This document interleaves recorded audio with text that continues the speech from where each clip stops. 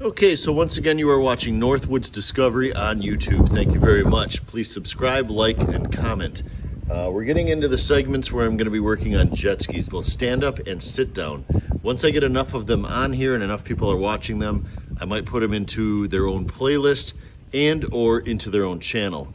So what I bought was a 1988 stand up Kawasaki 650SX. And I also bought 1997 three-seater sit-down Polaris 780.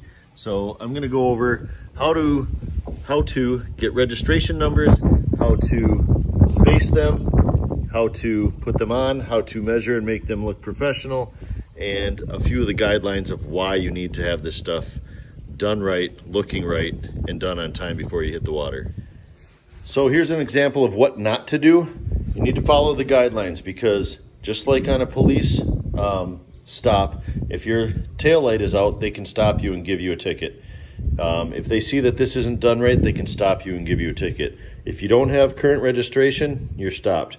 Um, they might not stop you for it being put on wrong, but they have every right to, and sometimes the tickets are well over $200.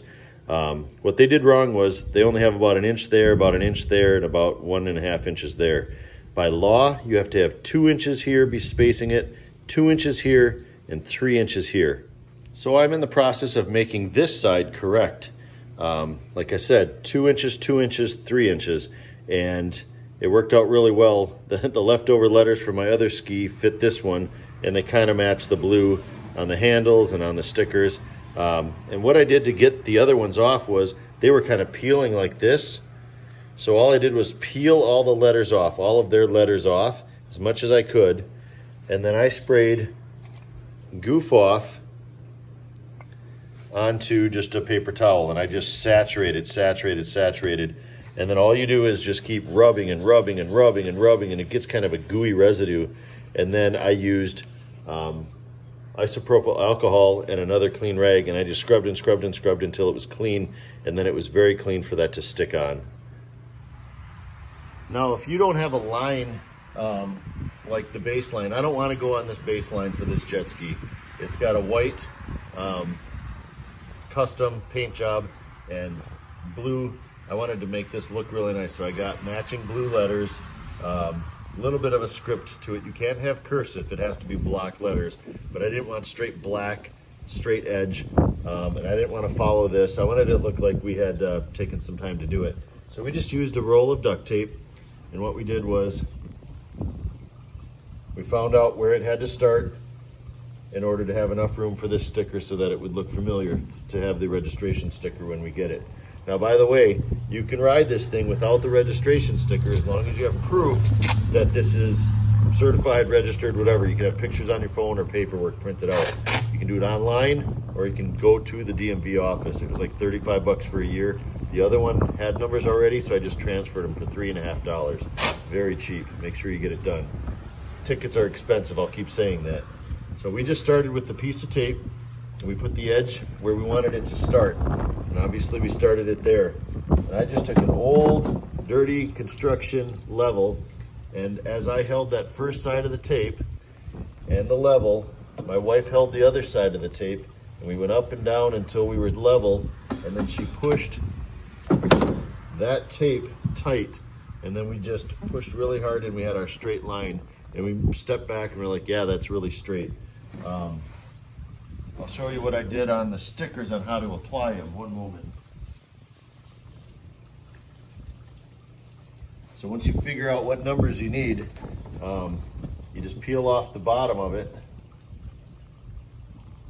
and you get that put right on the line. You get the very bottom and you put it right on the line. Oops, came off this thing already, which is fine. But you want to push down and you step back and you're like, oh, is that straight? Is that not straight? And then you push up to make sure there's no bubbles. Let me get you closer in here. Then you just push straight up and you want to just keep pushing, pushing, pushing until you're out the end. I'm not going to push it all the way on because I don't want that one to stay there. But you just keep pushing, get all the wrinkles and all the bubbles out. Then it comes off if you make a mistake and you can start over.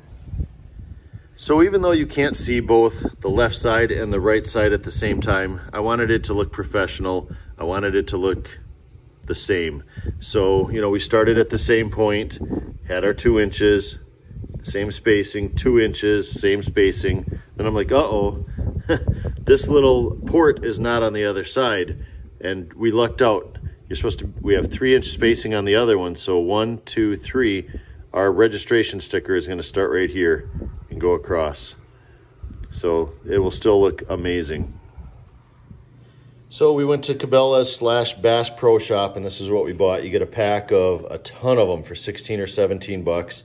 And they have four of each letter and each number in there. And then they also come with black dashes if you want to have dashes in between the two inches um, to make sure they know that you're legit. Um, I chose not to put the dashes because by law you don't have to have them.